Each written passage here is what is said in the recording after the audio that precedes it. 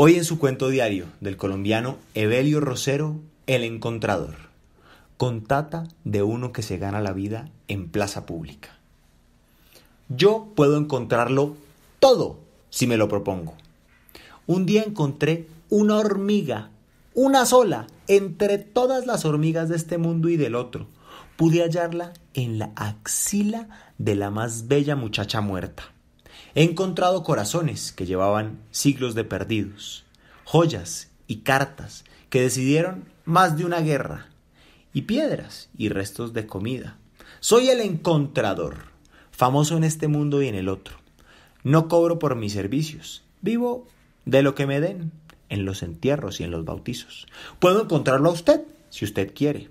Encuentro vidas que se mueren, gatos, ollas y niños, luces, ríos, astros y momias, letras y números.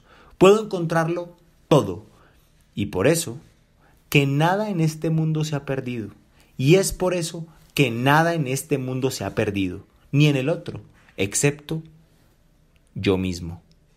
Pues no sé quién soy, ni para qué sirvo. Y no estoy satisfecho conmigo, ni con mis encuentros. Quisiera encontrarme, Sé que estoy perdido en cualquier esquina de este mundo y del otro. Me estoy buscando yo mismo, hoy mismo. Y soy, sin embargo, el encontrador.